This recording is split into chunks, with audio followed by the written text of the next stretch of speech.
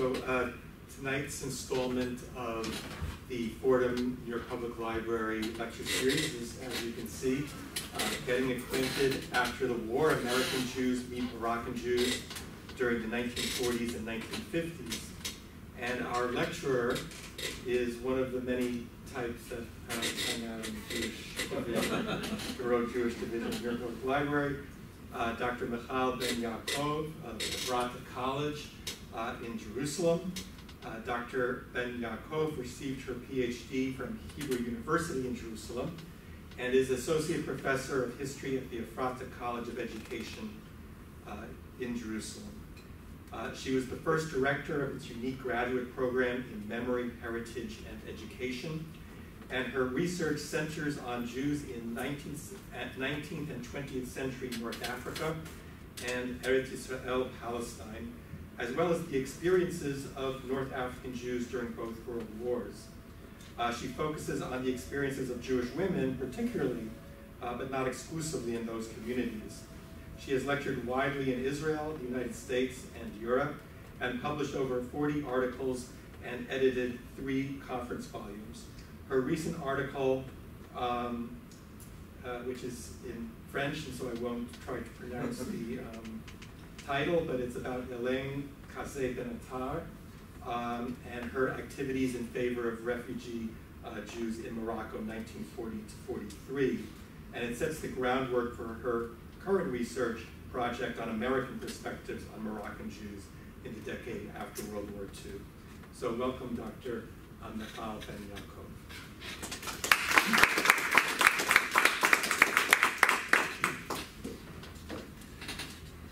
Thank you very much for coming on this evening between the weather and the elections.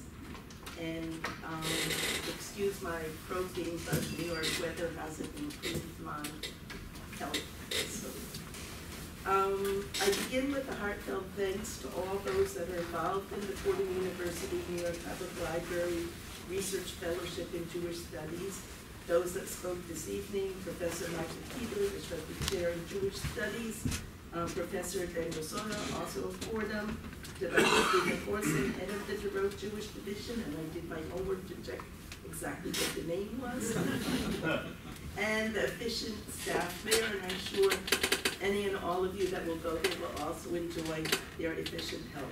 And it is certainly a pleasure to be with you here in New York. Um, during the 1940s and during the early 1940s, hundreds of refugees arrived in the United States on ships from Morocco. A fact reported in the New York Times, a fact reported in the New York Times and in the Jewish press in the United States. But did Morocco register in the minds of American Jews as they read the news? Just a month after the Allied invasion, invasion of North Africa and U.S. troops arriving on the shores of Morocco in November 1942, Casablanca suddenly burst into, the, into American homes. Yes, fortunate timing for Warner Brothers, the film Casablanca made its debut. However, what is remembered generally is the wartime romance when an expatriate, Henry uh, Humphrey Bogart, meets his former lover, Ingrid Bergman. The context of the film has largely been overlooked and forgotten, and few remember the, the scenes of refugees arriving on the shores of North Africa, in the markets of Casablanca, or facing the challenges of daily life. So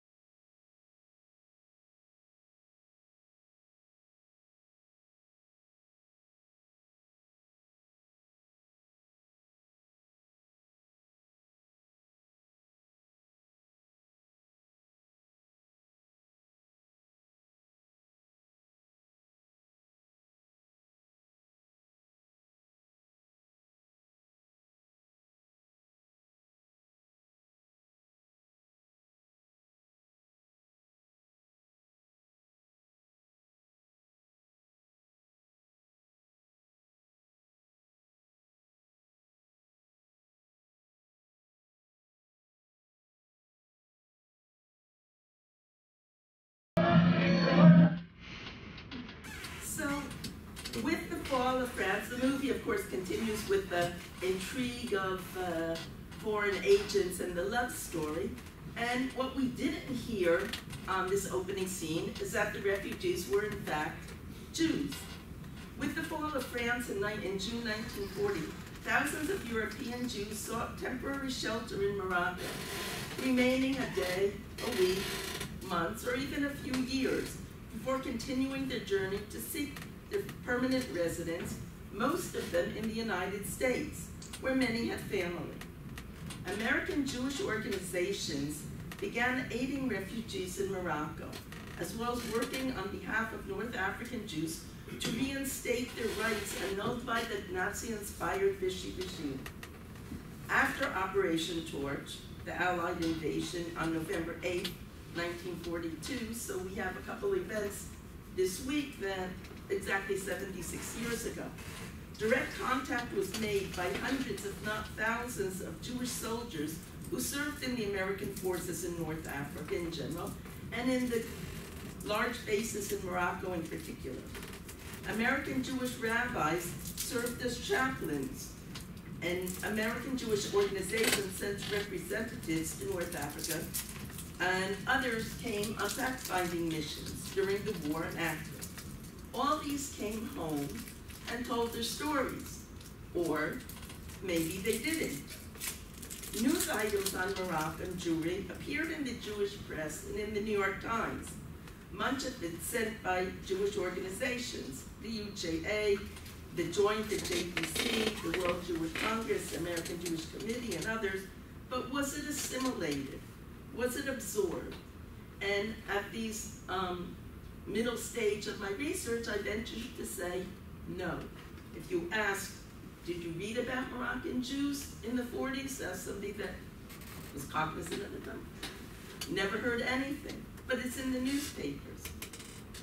During the 19th and early 20th century, North American Jews were largely unknown to American Jews and considered exotic. Their, their communities far flung.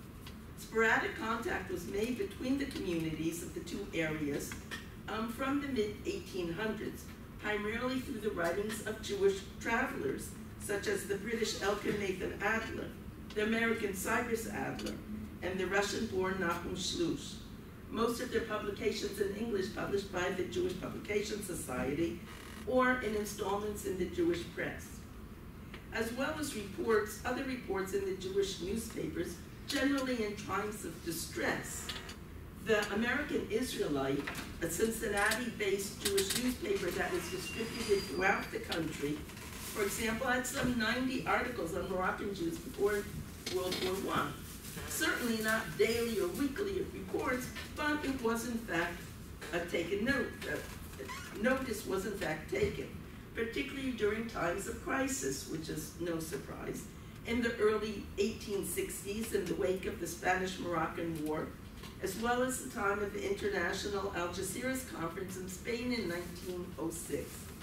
At that time, Jacob Schiff, the noted American leader, no, American Jewish leader, noted that, quote, whilst in most Mohammedan countries the position of the Jews has been favorable, this did not hold true for Morocco, where they were subjected to oppression and degradation as, severe as, severe as that during the Middle Ages in Europe, end quote.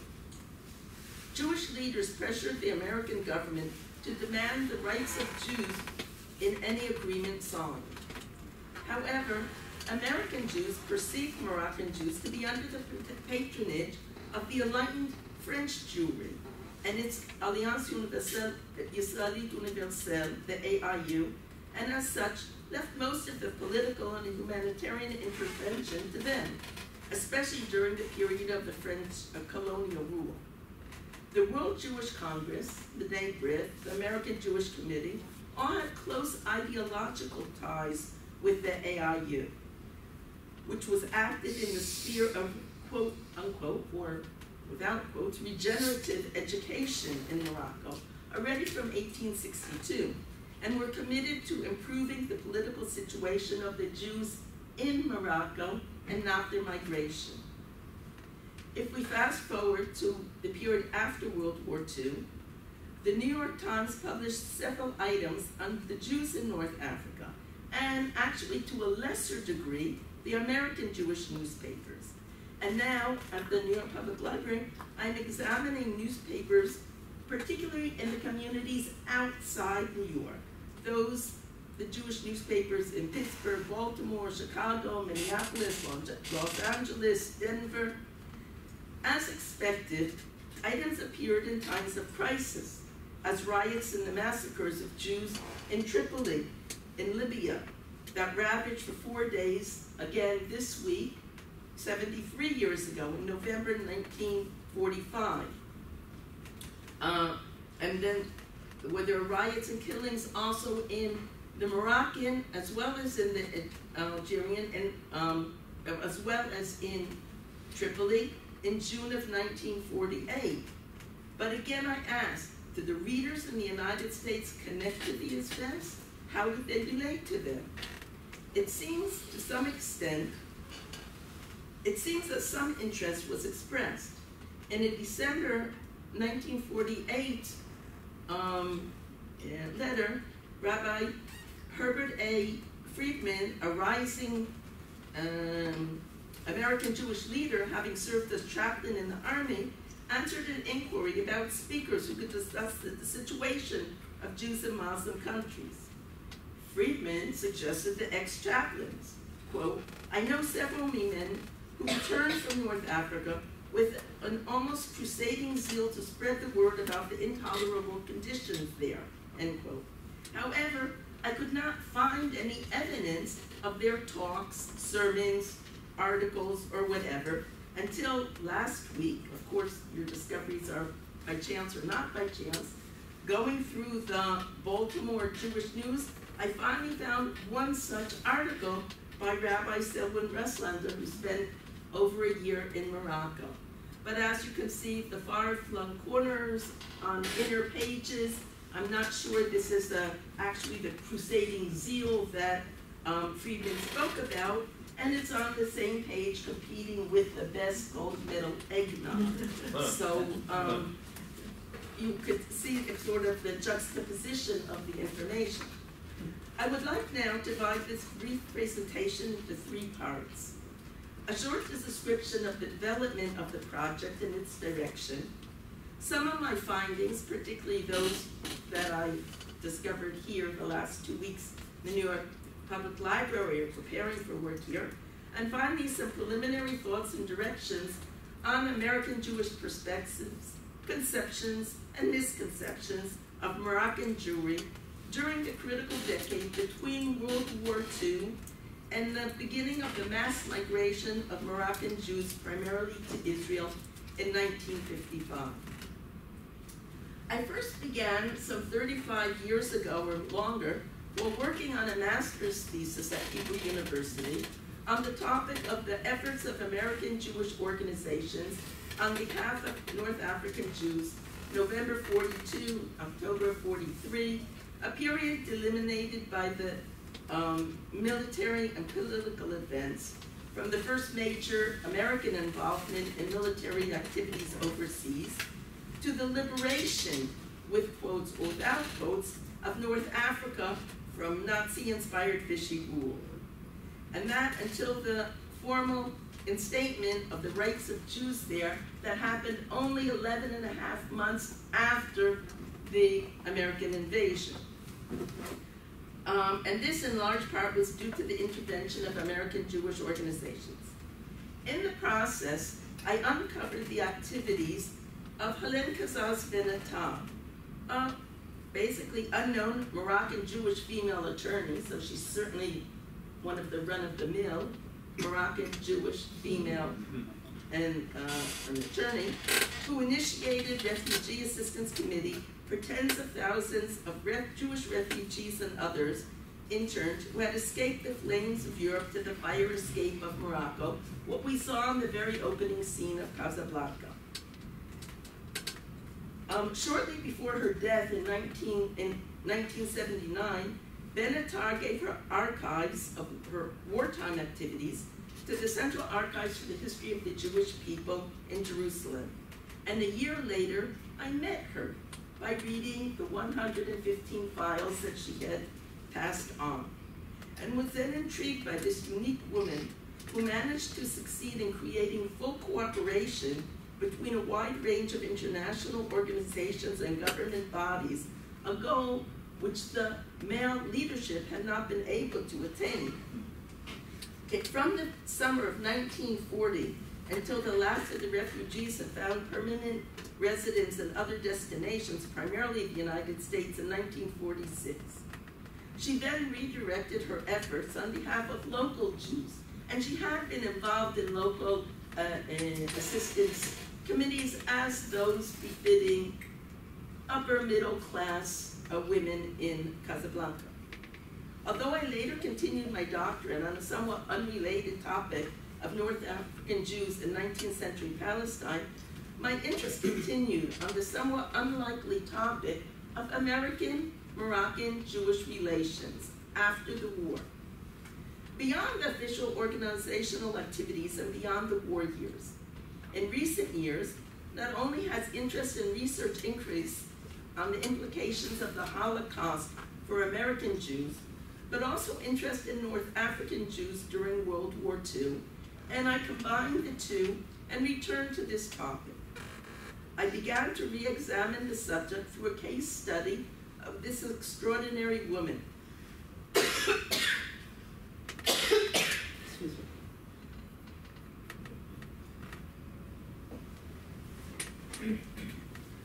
Helen Cazès Benatar.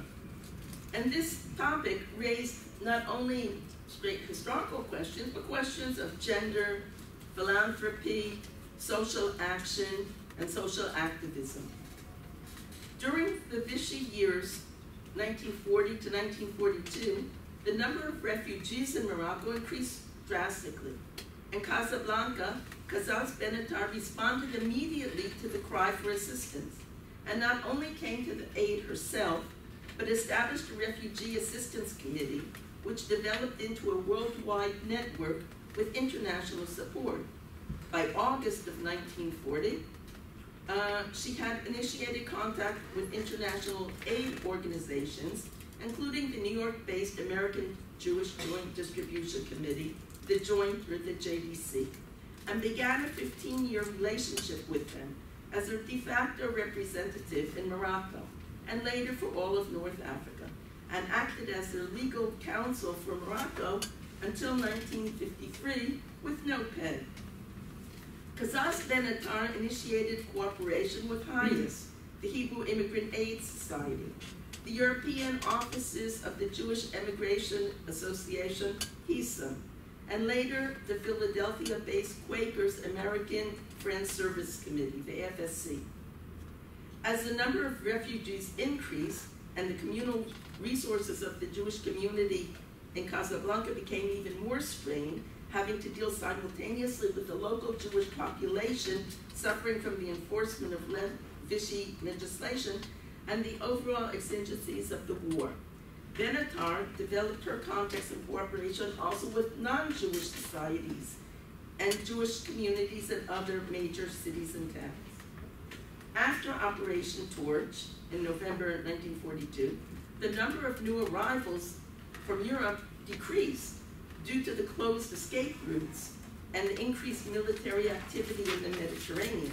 However, thousands of foreign Jews had detained as former soldiers of the French Foreign Legion, something that you also don't know from the movies Casablanca and many others of the French Foreign Legion riding out into the desert, that a great many of them were Eastern European Jews who were in France and either to escape being um, expelled or to show their patriotism could not go into the French army and they went into the French Foreign Legion. But that's a whole other story. After the invasion, they were incarcerated in labor camps and were only gradually, with much pressure, released in Morocco, and they joined the refugees. The absence of the refugees and these internees in the overall story of survivors is particularly startling, as we know of tens of thousands were saved in this way. But that again is a separate story. After the war, Benatar continued her activities, continued her activities in wider spheres in the Jewish communities in North Africa, cooperating with Zionist organizations as well. She read, wrote articles for the JD, for the J, these are pictures of the internees that were from the French Foreign Legion that were in labor camps in the deserts. Um, Cazès Benatar wrote articles that were in um, the various Jewish organizational and publications as well as in the Jewish press. Um, she wrote in the American Jewish Yearbook during the early 50s every year articles on each of the countries of North Africa, for example. In 1953, she made an extensive but somewhat publicized speaking tour in the United States on behalf of the United Jewish Appeal, the UJA, in order to acquaint American Jews with North African Jewry and their needs, as well as the refugee assistance which had been offered to Jews who had escaped Europe via Morocco during the war. She made a subsequent second visit in, 19, in February 1954. However, my work has indicated that research through the prism of Helen Cazès Benatar is only part of the story, and the picture is actually larger and more complex and only her sphere alone. Although organizational histories and archives paint the picture of formal activities, I am interested in the interaction between American and Moroccan Jews themselves during the latter years of the war and after, and ask what influence these direct contacts had on the perspective of American Jews. Histories of American Jewish organizations only briefly mention activities in North Africa and require a re-examination and reinterpretation of them, meshing the intersections of American and Moroccan Jewish history. My current project is actually re-examining and expanding an excellent and original work of Professor Yaron Tzur in Hebrew, whose award-winning 201 um, book, A Torn Community, The Jews of Morocco and Nationalism, 1943 to 1954, in which he studied the activities of American Jewish organizations in Morocco from the Moroccan point of view, from that of Moroccan Jews, as well as that of Dr. Avi Picard, whose work on the Moroccan Jews has focused on the activities, strategies, and funding of Zionist activities, their organizations and leaders, primarily regarding Aliyah, immigration to Israel from Morocco, and steps taken um, for their um, uh, trip in the mid-1950s. Relevant to this study is this 2014 article, Funding Aliyah, American Jewry and North African Jews, 1952 to 56. However, the picture is not complete without examining the attitudes and perceptions of the third variable of the equation, American Jews and their leaders, their perspectives, in addition to those of Moroccan and Zionist or Israeli positions. Although American Jewish philanthropic and welfare activities continued well into the 1960s, and to some extent in Morocco even today, assisting with health, education, and welfare, often cooperating with the World Zionist Organization, the initial contacts, the dilemmas they raised, accommodations made, and the perceptions of American Jews regarding Moroccan Jewry have been neglected. And so this project hopes to rectify that lacuna, reaching beyond Cazès Benatar in the war years and asking where did all this activity lead? Primarily, but not exclusively, through American Jewish newspapers, as mentioned at the New York Public Library, which has the single largest collection of such um, publications. The Holocaust and World War II changed the face of world Jewry and the perception of American Jews regarding world Jewry. However, did they include North African Jews and Moroccan Jews in particular? As a result of direct contact, the American Jewish soldiers and chaplains, organizational representatives who actually were in Morocco, refugees who passed through Morocco and settled in the United States, and through indirect information through news items in Jewish newspapers and journals, talks, meetings, etc. Being optimistic, I originally thought, naturally, but how did they change them? However, since working on this project for the last year or so, my answer has become much more negative, saying there wasn't any significant change, and why is this so? Um, I had hoped to find an answer by following the trail of Cazès Benatar as she went from city to city in 1953 and 1954, three months each year, speaking in the United States coast to coast on behalf of the UJA. Um, and we can see um, one, one um, pamphlet. It is through um, the United Jewish Appeal proudly presents an outstanding spokesman for the Jews of North Africa, proclaimed a UJA pamphlet. Here, are the women who, divide, who defied the pro-Nazi Vichy authorities to save Jewish lives. Upon arriving in New York, she spoke at the opening rally of the Women's Division in New York, sharing the stage with the main speaker, Eleanor Roosevelt, who lauded her efforts during the war as well as that done after. I began my work by looking for reactions to this trip, following the Jewish newspapers of those cities. However, little is found, or until now I have found very little. Reading through 10 years of weekly Jewish newspapers, even when focusing on the specific events as those that I mentioned, the riots in November of 1945, the riots of June 1948, um, the border towns of um, Oujda Jerada in Morocco and again in Tripoli. Although thousands had moved, had uh, thousands of Moroccan Jews had immigrated to Israel immediately after the establishment of the state, mass immigration was yet to come. I must say, by going through the newspapers and not searching out, you know, with all the improvements in technology, you have this great tool of digitalizing the newspapers. So you look for a keyword and you find it. But not all have been digitalized. Some are on microfilm and some I'm turning the pages. Okay, so this puts things a bit more in perspective because timing of parallel news items must also be taken into consideration. The UJA annual campaign was held in the early spring months, and therefore Helen Cazès Ben and other news had to vie with Manischewitz advertisements for Pesach for wine and matzahs. So you see these huge advertisements. And then at one particularly large meeting, which I expected to find results of in Boston, the day before Stalin's, um, the results of Stalin's uh, doctor's trial, Jewish doctor's trials in the Soviet Union came out, so of course, anything as insignificant as Helen Cazès Benatar and Moroccan Jewry were pushed to the side.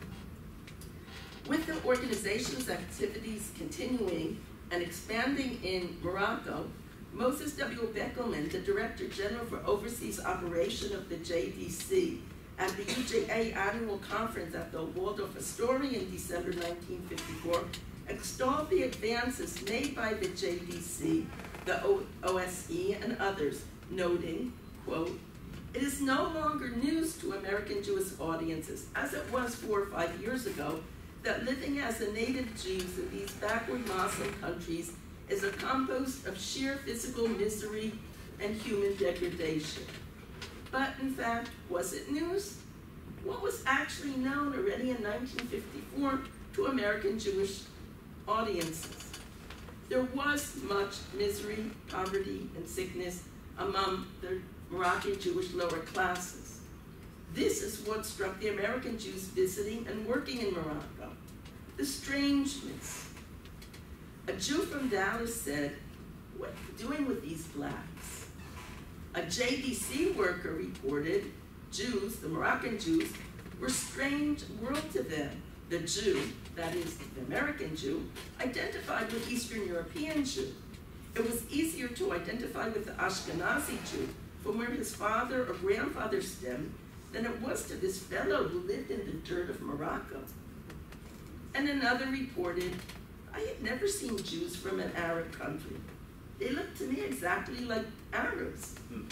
I said to myself, what do I have in common with these people? I don't have any common language, no common culture. We don't even look alike. However, during the relative stability and prosperity between the two wars under French colonial rule, a new middle class had developed. Even, and even the lower middle class had changed. And perhaps more importantly for Jewish, for international Jewish dialogue, a francophone, westernized social and economic elite. The group Yaron designates as the reformistic sector. It is these leaders who hosted and guided the American Jews on their trip. It is they who participated in the international Jewish conferences, as the War Emergency Conference in Atlantic City in 1944 and the annual conferences of the JDC in Europe. These are the leaders who looked, acted, and often thought just as American Jewish leaders, looking to improve the situation of the downtrodden. They also had close ideological ties with the AIU and we were committed to improving the political situation of the Jews in Morocco, as did the Jews of the as did the leaders of the World of the World Jewish Congress beneath the American Jewish Committee. The JDC and OSE, OSE, the Children's Aid Society, the International Jewish Health Organization, went in with wider relief, rehabilitation, and health goals, not political agendas. Only when the political and economic situation in Morocco was no longer viable for Jews after Moroccan independence in 1956 did these leaders begin openly supporting Aliyah or other migration to countries, generally France or Canada, and ultimately cooperated with the Jewish Agency and the State of Israel with aims of Aliyah. Photos of the Jews of Morocco published by the Jewish press and by the American Jewish Organization, support the exotic, primitive, and extreme poverty. Those of the photos of the leaders remain closed in the archives. From 1953, the JDC International Conference in Paris, Friedman, now a, a, a strong American Jewish uh, leader that I um, referred to previously, reported that the question was asked, why should we be concerned about these Moroccan Jews? Haven't they always lived in squalor and poverty? How far can we go to rescue every remote remnant of Jewish population? The questioner went on in this vein, expressing the mood apparently of American of many American Jews to wonder why the UJA money should be spent in this fashion. Friedman answered reflecting both Zionist ideology and what Maud Mandel coined as philanthropy or cultural imperialism, and her 2002 article subtitled The Impact of American Jewish Aid in Post-Holocaust France. Quote, Friedman continues, my answer to this comes from the heart. I am convinced that these people are good human material. They have been ground down under brutal poverty and ruthless Arab oppression for centuries. We have found them now in this condition. Miracles have been wrought in the four short years that organized help has been brought to them. They constitute a small replacement for the six million of Europe. If we have found this reservoir, let us not be dismayed by the temporary burden it represents, but let us rejoice rather that there are those who can again be gathered to, to enlarge the fold. Why be concerned about them? Simply because they are ours. Hal Lehrman addressed this very question in a series of articles and commentary after his 1953 trip to Morocco. One that was not descriptive presented the title of the article North American Dilemmas for American Jewry behind the present debate on community priorities, in which the situation of the Jewish communities of Morocco, from the viewpoint of American Jewish responsibility overseas, of American Jewish responsibility overseas versus the postponed domestic needs.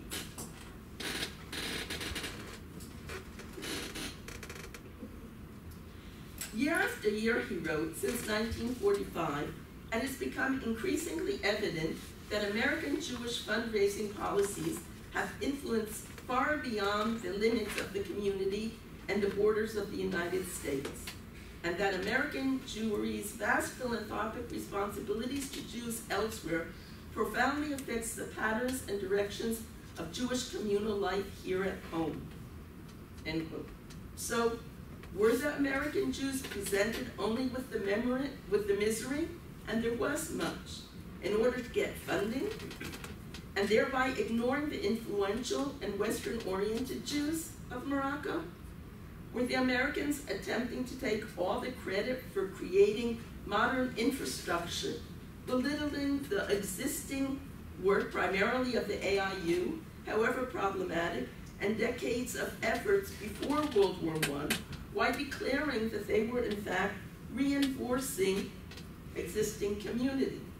I hesitantly say yes, and suggest Mandel's model of yes, philanthropy was cultural imperialism.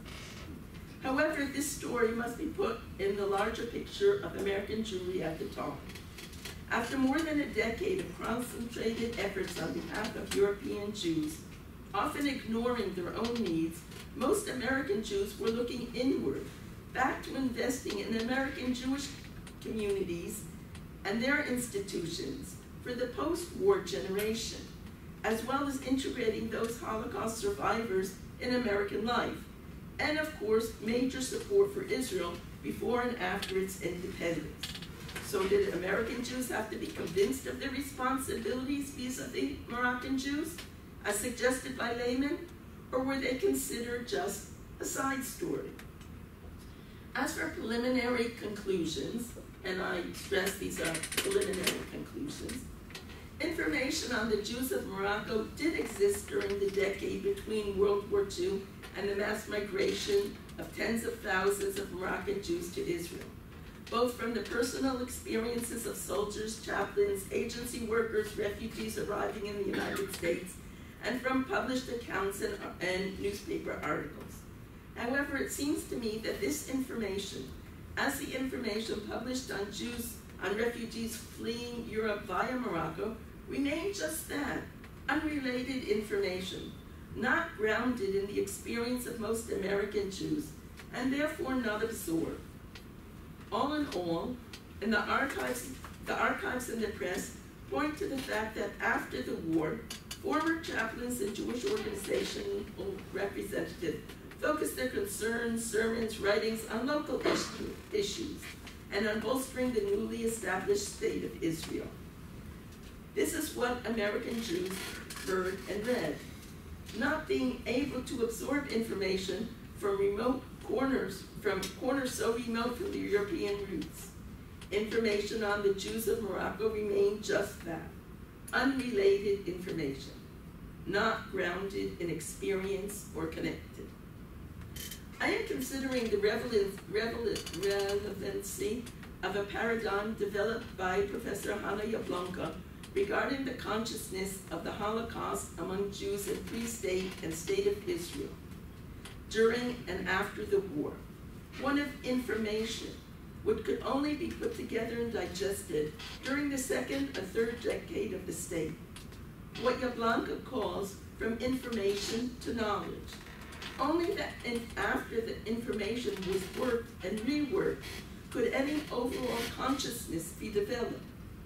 Similar ideas of fact and information versus an assimilated picture may be drawn from Hasia Diner's study of a Holocaust remembrance in the United States and Beth Cohen's work on the experience of Holocaust survivor refugees in post-war America, as well as Anita Shapira's study in Israel all of which point to the conclusion that although it was thought that nothing was known or done, in fact, we can now piece together the information and realize how much was known or done, but just not absorbed into a larger picture. The case of the perception of American Jews regarding Moroccan Jews in the 1940s and 50s was even more disparate, as the information fell on virgin territory. More than that, it seems to me that the preconceived of the preconceived perceptions of the other as it captured in the title of a 1951 book I just uncovered and haven't had the chance to read much of, written by Lawrence Resner, Eternal Stranger, The Plight of the American Jew from Baghdad to Casablanca. And in full page ads of the annual UJA campaign, which contributed to the marketing of the stranger in order to get funding for projects. And these did not inspire understanding, further knowledge, or change perceptions. So I began my talk when I originally said the title as Getting Acquainted After the War, colon, American Jews meeting Moroccan Jews in the 40s and 50s. I then changed to my um, opening uh, slide, Getting Acquainted After the War, question mark. And now, after glancing at um, Resner's book and others, perhaps I should say Getting Acquainted After the War or The Eternal Stranger, American Jews and Moroccan Jews in the 1940s and 50s. Thank you.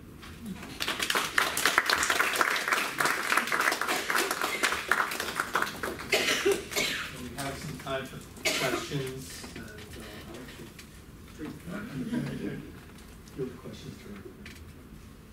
Please, several of you came up to me before, and I know you wanted out Moroccan Jews in Morocco and Moroccan Jews in Canada or in the United States, and I didn't talk about any of that. Sprung on you a different topic. If there's any questions, yes. Well, I have that question. So there were uh, Sephardic Jews and uh, um, Middle Eastern Jews in the United States. Uh, find anything that they had any kind of different attitudes or that they were acting in any way that was different from the majority of Ashkenazi American Jews? Well, for certainly what I've been going through now, I've gone about through about a third of the 15 interviews that are at the New York Public Library. In the early 1990s, there was an oral history project by the American Jewish Committee and the Dorot Division of the New York Public Library. And they were interested in interviewing um, Sephardic Jews in the United States. I don't know there, how many there are, probably hundreds of them, I don't exactly know the numbers. But I came down to 15 that were from Morocco. So I began reading them. So obviously their information was they were Moroccan Jews that had settled here. So obviously their ideas and perceptions. Each of them had uh, that I managed to read, and hopefully tomorrow I will continue, um, uh, have a different story. But I was reading them because I wanted to say, I wanted to see if they mentioned how others perceived them, and I didn't get that at all. Some of them were, one of the interviewers, in my opinion, didn't know a lot before she asked. It was sort of like, what do you eat and what did you do in Morocco kind of questions. Um, others arrived different ways. Um, some via um, Montreal. They went to those that, for one reason or another, weren't going to Israel because they had family or were looking for other opportunities, went to Montreal, where Canada had a fairly open and liberal immigration policy, and Montreal was French speaking, and they were French speaking, so those that didn't go to France went to Montreal, and some of them then from Montreal, often for business reasons, ended up in New York. Um, others, uh, for example, uh, Professor Henry Toledano from Hofstra University, I think recently. I knew him from years ago. Um, for example, he was brought over in the at the same time in 1953, 1954, 1955. There were other also other organizations working in Morocco, and there were some various um, uh, uh, yeshiva organizations that were looking for scholars in Morocco to reinforce yeshivas in the United States that no longer had the Eastern European um, students coming in. So that's how he and a group of students came, and he remained here because he was the, the son of a very renowned uh, Moroccan uh, uh, rabbi in uh, Meknes. Um, so everyone had their own story, but I guess it didn't interest the interviewer to find out how others saw them just they wanted to know how did, you know, where did you come from, how did you get here, and what did you do kind of interviews. What about But I'm the continuing to look. communal, uh, communal organizations in the United States, whether they have different relationship to. It's an interesting question. Um, What was the question? the, you wanna repeat the question? I guess it's the follow-up, which was that the question is about uh, Sephardic and Mizrahi communal organizations in the United States, whether they have made efforts to aid North African Jewry that were different from the mainstream Ashkenazi Muslim. Were there Landsmannschaften for Mizrahi? There were. There were, but not Moroccan, because you had, you had true groups that, this is not my area of specialties, um, uh, you might know more. Um, for example, Aviva Ben-Ur has written about, um, the Sfardim in, in the United States. So you had those that congregated around, you know, of course, the original Jewish settlers that came to the United States were Sfardim, and those that established the Shearith, uh, uh, the Shearith Israel Synagogue here in New York and others in New Orleans, Charleston, etc. Um, and then you had um, many, many um, Turkish Jews that came around the time of the instability of the breaking down of the Ottoman Empire at the beginning of the 20th century, 1905, 1908, 1912. There are many, many um, Jews, and so they, they, as opposed to the the Sephardic Jews that were in the United States, who had already become somewhat assimilated between the, the waves of immigration and German and Eastern European Jews, um, they form their own communities in specific areas. So you have um, those Ladino speaking, and they have there was a Ladino press actually um, in, in Seattle, in New York, there were communities. Uh, then the Syrian Jews, but in order to have some kind of Landsmannschaft, you have to have some kind of critical mass.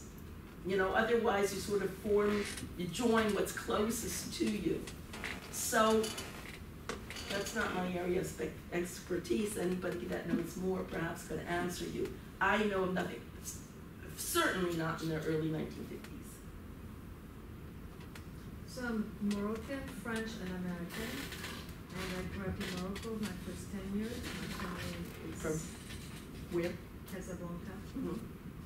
My family is from Morocco, from generation. And so, um, what I was wondering with your uh, was there an awareness from the American Jewish organization in the fifties and sixties that in fact, uh, the Moroccan community, the Jewish Moroccan community, had been um, strongly supported or even saved, as the American Jews like to say, by the King of Morocco from the Nazi regime and deportation. You know, that there is this understanding that um, the, when the French, when the Vichy government said uh, the Jews of Morocco had to wear the yellow star, the king uh, of Morocco said, uh, if the Jews, the Jews of Morocco are my subjects, if the Jews of Morocco are going to wear the yellow star, then all of my subjects are going to wear the yellow star, including me. And that Okay, this is a widely held myth that has to be um, analyzed because it, I never got as far as the Yellow Star story. But this is It's beyond something all Moroccan Jews believe that the king saved them. But by looking in the archives, and Michel Abitbol has written on this as well as others after, actually it was a power play. Because the king wanted to show, the sultan wanted to show Right. that he was in charge. Of course. Okay, so, and they wanted to show that they were in charge, and who was the little pawn? The Jews were the pawn. So the fact was, but the thing is, in general, it did have rather good relations with the Jews, but at that time, um, the Sultan was ra- rather powerless. But he was still the figurehead, but uh, within the French colonial rule. Okay, but so when the American Jewish leaders were having all kinds of negotiations with the Moroccan leaders in say 19 from 1953, 4, 5, 6, leading up until independence in 1956. And shortly afterwards, they were talking to everybody. They were talking to the Sultan, they were talking to the heads of the different independence um, parties prior to um, independence, they were talking to the French. What they were trying to improve the situation, they were talking to everybody. And everybody was promising everything, you know? So um, I haven't looked into specifically the relations as a focus, just as I'm going through all these organizational materials, they're having meetings all the time. And then you also see the different infighting between the JDC that has their agenda and the World Jewish Congress who has their agenda and everyone's meeting and if they happen to come at the same week, so who's going to talk to who and who talks, you know, who spoke to who. So that the main um, gist in the mid 50s was have freedom of mobility. That Jews could stay or Jews could leave, that they could get passports, they wouldn't have to illegally emigrate, whether it be to Canada or whether it be to Israel. So they were talking to But everybody. the, but the Americans never helped in terms of the Jews living legally. The American government, as far as I know, no. But They weren't gonna get but involved. even the American Jewish organization. The American Jewish organizations kept these negotiations top secret. The papers are just coming out in the last But I know for a fact that when my relatives left Morocco, they left illegally through Right, different. what year? In nineteen, like my aunt and my uh, uncle left for, for Israel, probably in like 1948, 1950, and they did it through Algeria by walking through. Okay, Yeah. so, so what happened is they actually, it, you know, which is one of the reasons why the, um, I showed a, a newspaper, it said Algerian Jews, but actually it was in the, um, Moroccan towns of Oujda and, uh, Jerada, which were right near the Algerian border that the Moroccan Jews used to leave. But, um, you had all different periods between the French rule and independence rule, and then, so, between nineteen forty-eight and nineteen sixty-one, it really depended what year and what month, whether there was approval to get passports or wasn't approval. Three hundred a month to get approval, when eight hundred wanted to leave. So there was a lot of legal and illegal, um, mobility, which is why all the, all the organizations, no matter what their agenda, were trying to get what they called freedom of mobility. Okay, so, yes, there were many, many illegal immigrants because they could not get permission. Others did get permission, but depended when and from where and from, from whom. Yes, I want to say that Jews in Arab countries were not allowed to go directly to Israel, so you went to a third. depends when. Depends when and where. They did from Yemen. They did from Yemen, they did from trip from Libya. Libya, there was a direct uh, airlift. That's Morocco- Iraq, there was a direct airlift. From Morocco, none. But other countries, yes. Again, it depends when and where. Who was ruling the place? There were, there was a lot of, uh, One question, um, um, I, I heard years ago that the, uh, first postmaster general in Morocco was a Jew, and the king walked into, uh, synagogue Saturday morning, is that true? I don't know, walking synagogue, but yes, there were, there were ministers in the, there were, um, high officials and, uh, what do you call, secretary of the, of the post, et cetera, that were Jews, yes. In the United States. No, in Morocco. Which this ended already around 1961, 62. Everything become very, um, not only Moroccan but Arab and Pan-Arab. So it became everything Arabic and more um, Islamic law. So it became more and more difficult. This is when Hélène Cazès Benatar, from 56 to 61, she was going back and forth between Paris and Casablanca, and finally in 61 she she moved to, to Paris. Yes. Yeah, just so I have a concept to go with, could you give me approximate numbers in terms of, we're talking roughly, um, early forties to early sixties. What would have been the, um, approximate population of, of the native Jewry within, um, Morocco? The refugee population that was coming from, um, parts of Europe? And then of that population, how many actually emigrated and what percentage were emigrating to North America, US, Canada, and what percentage were emigrating to Israel? Okay, let me It's just because I Okay, don't know in the round, numbers fi- you're in round figures, at the end of World War II, around nineteen forty-eight, we're talking about approximately three hundred thousand Jews in Morocco. And of those, how many would Okay, have been? of- The number of refugees, nobody knows. Okay, Anywhere there are, um, there are estimates anywhere from twenty thousand to sixty thousand. okay. Okay, in Benatar's archives, there are thousands and thousands and thousands of names, okay? The Israel Genealogical Society wants to, me to go in and to get all the names, because the names could, could appear twenty times, they could appear once to find out. Now, those people, again, they would have, could have stayed only a few days if they had visas and ship tickets and everything, and they could have stayed for longer. By nineteen forty-six, there were, none of them were there. Maybe there were one or two that, you know, that eh, married with local Jews. But, so we don't know what the refugee population at any one time was. Because there's constantly coming in and out and going. There were, there were too many Jews, I mean, there, there were so many problems in Casablanca, had an idea that, okay, they were sending two hundred to Meknes and two hundred to Agadir two hundred to there, because you have to understand that Casablanca, when the French came, uh, French official colonial rule in nineteen twelve, was, uh, Casablanca was like this sleepy little fishing town. What didn't have a port, it wasn't anything, it was the, it's the French that developed it as a bustling port and metropolitan city.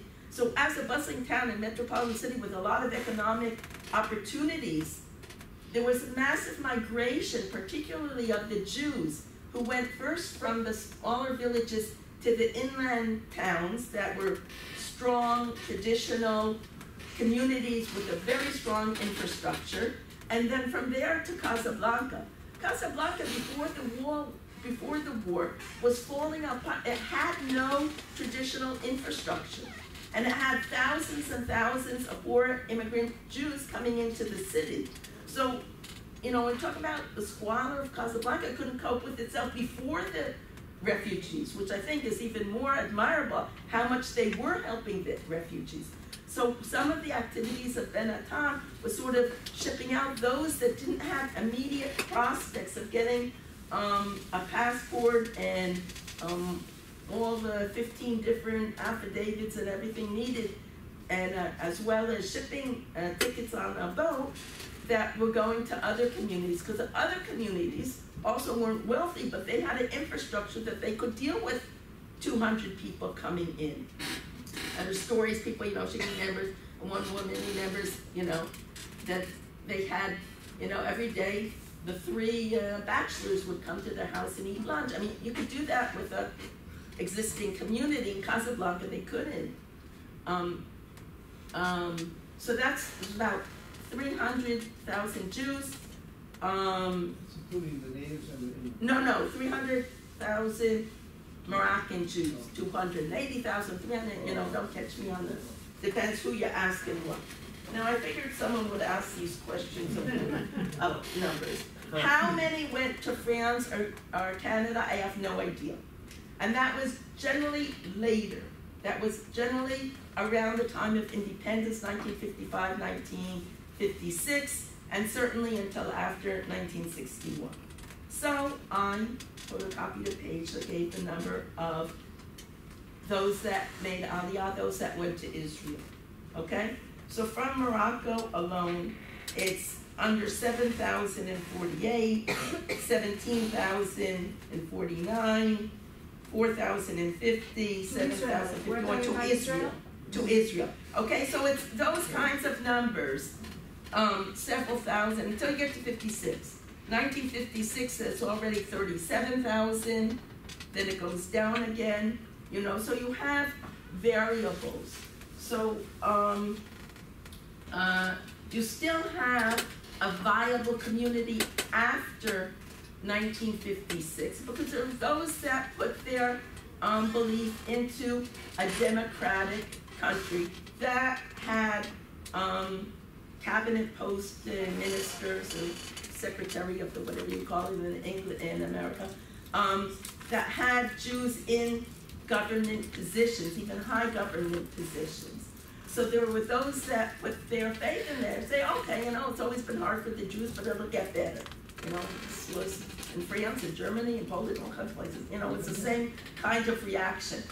Um, and then I said, then after 57, 58, again, it started deteriorating. I don't have the numbers at all, probably places. I mean, the sentiment among the Jews of Morocco is that it really started deteriorating for real when uh, there was the uh, around the mid sixties to the later sixties, especially after the nineteen sixty seven war. Well, actually, it was before that, after sixty-one, when, when the Arab, when it was no longer able to speak French in government positions, it all had to be in Arabic. Things had to be more and more according to Islamic law. And Morocco was also in a position between, should they join the pan-Islamic, um, uh, movement, um, not only in vis-a-vis Israel, and the Israel Arab question, but in general in terms of their culture.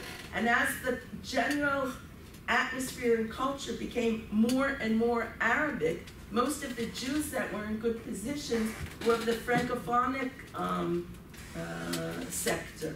So it became more and more uncomfortable.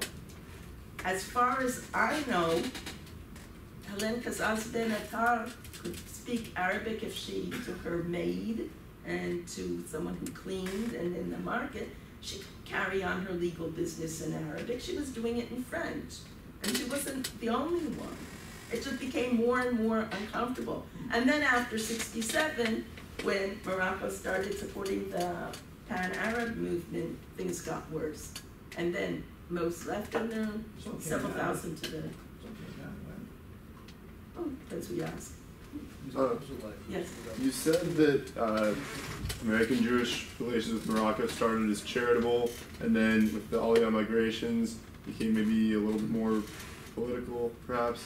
And you also seem to say that uh, the charity relationship that American Jews have with Morocco uh, sort of uh, caused their the American perceptions. So how did this change in uh, purpose of uh, involvement change perceptions, if at all? Um, the question, your question sort of divides up into several parts. First of all, what I'm trying to find out, what is their perceptions of you and me? You know, people listening are not the head of the joint or the head of the World Jewish Congress or the head of the something.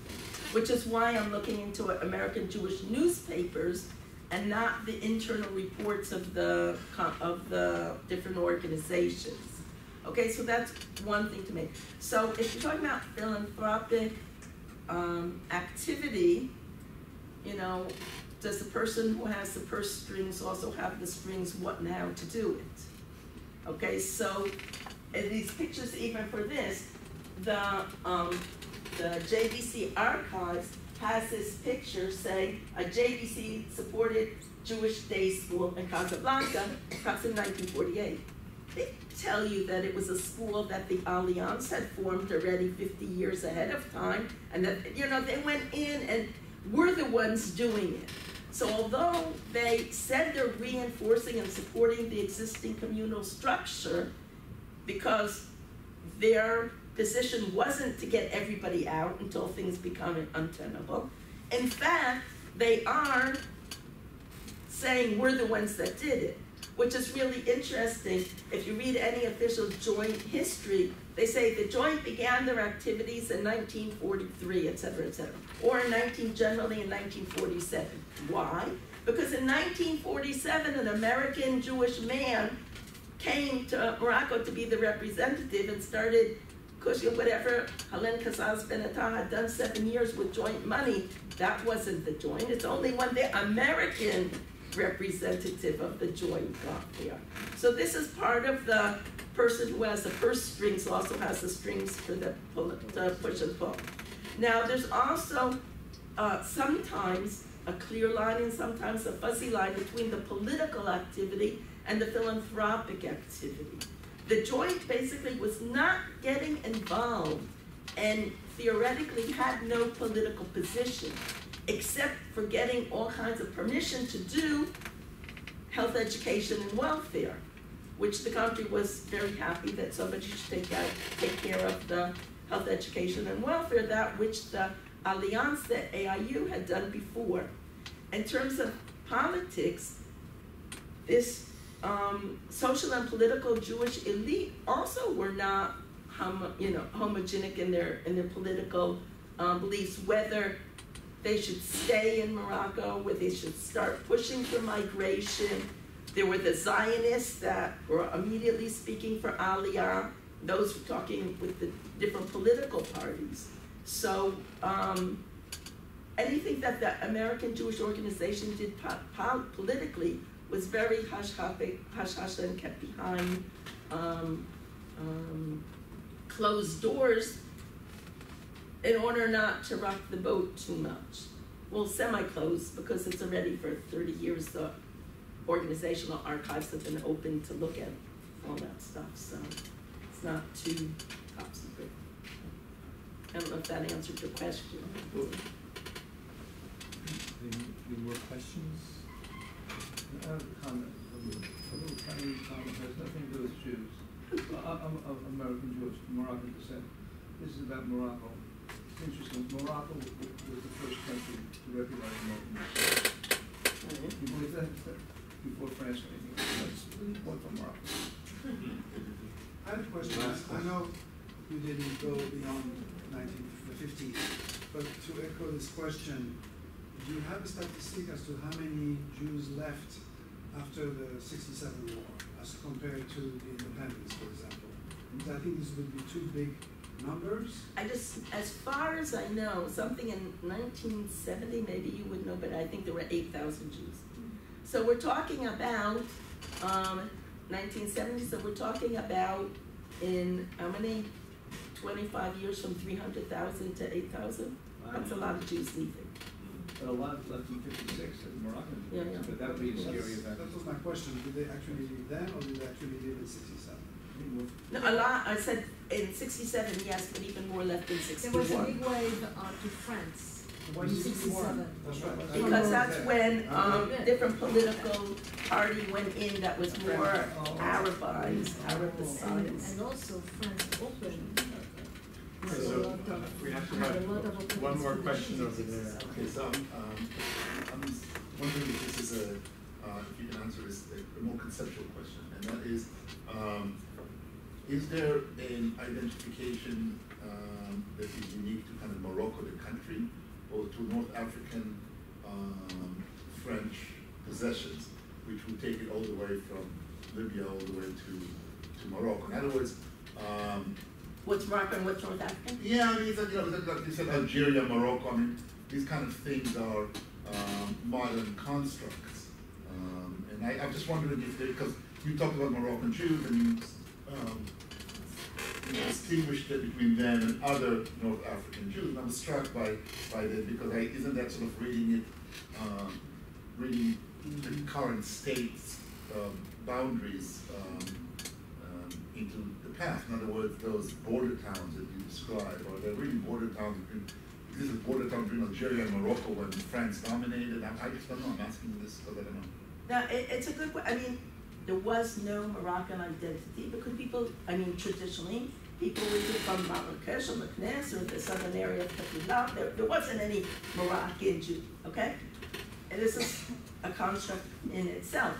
And also, the, you know, if we're talking about the eighteen hundreds, the borders were rather um, fluid, particularly in the desert areas, which were the little uh, settlements, so the borders were totally, okay?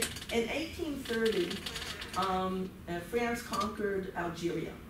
And actually Algeria became one of the three different departments of France itself. It wasn't a colo- uh, colony, it was part of France. Okay, so then they had, it wasn't all like in one year they finished this because in the southern part and with different tribes, there were battles continuing.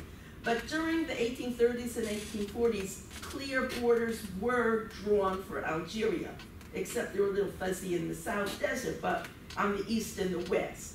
So that there was a clear border between the Moroccan uh, Sharifian Sultanate and Algeria. Okay, so just as a curious aside, a lot of Moroccan Jews that were going to Israel, first they went to Algeria not only because, for example, the big port city of Oran is on the western coast of Algeria, so it's very easy for Moroccan Jews, but they'll get there and then they would get to um, 19th century Palestine and tell the French consul that they're Algerian and therefore they should have French citizenship and French protection, and actually they were Algerian, but that's a, a side story. Okay, the same thing happens between um, Libya was conquered by the Italians in 1911, and it became an Italian colony. Therefore, also those um, borders were clearly made. And then so as, and, and Tunisia was in 1881. So as the European powers were coming and making the colonies, they were, they were drawing the borders.